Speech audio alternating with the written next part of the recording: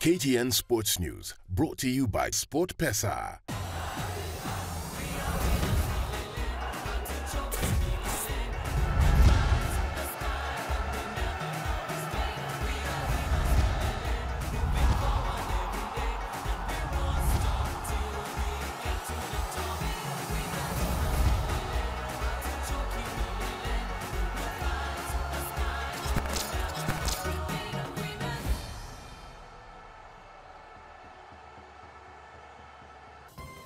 Let's head to the fields.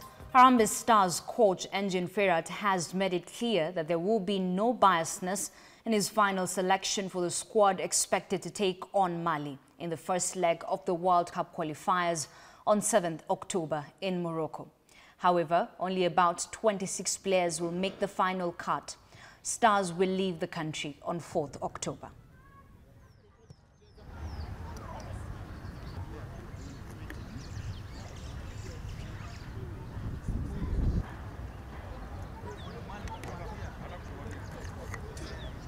It's not up to me, it's up to the player.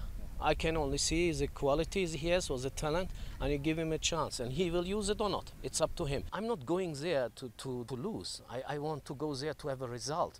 And but like I said, most important for us is the main important thing is that we show uh, character.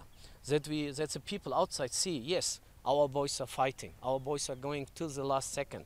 So if we are able to do it and, uh, and put it also in a good tactical strategy and everybody's disciplined in this strategy, then I am very hopeful that we can change it also. Why we should not win. Murang'a Seals takes on 19 times league champions Gor Mahia in a friendly match dubbed Handshake Derby. The match that will be played on Sunday will be used by both teams to prepare for the new season. Muranga Seals takes part in the second tier league and have signed a three-year deal with the betting firm. Muranga Seals vile wamepanda through the uh, the league na wamefika sasa kwa NSL na wameniambia sasa watakuwa kwa Premier League next year wakipata uh, support ile wanataka. Tumekuja kwao, wanatengeneza pia academy hapa ya football na tumeona hao ndio wanafaa tuwapatie support yetu.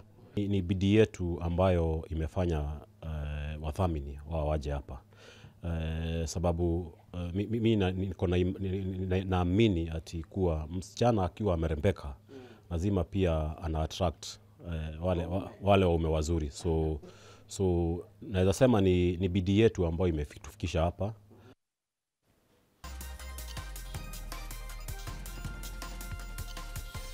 KTN Sports News, brought to you by.